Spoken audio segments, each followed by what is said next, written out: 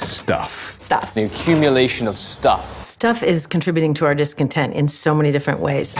We never really stop to question what is essential, what is necessary, how much of this stuff is actually adding any value to my life. We have the opportunity to have so much.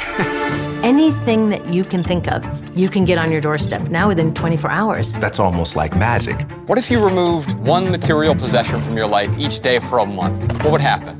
I think we should all be allowed to say, you know, I thought this is the life I wanted, but it's not. And so I'm going to start over again. Our memories are not in our things. Our memories are inside us.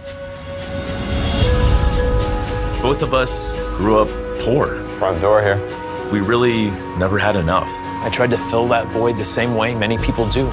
Chasing the American dream, it cost me so much more than money. I might have been living the American dream, but it wasn't my dream. Minimalism changed my life. It's given me the opportunity to be that person that I used to just talk about being. This deep knowing that all I was searching for, I already had.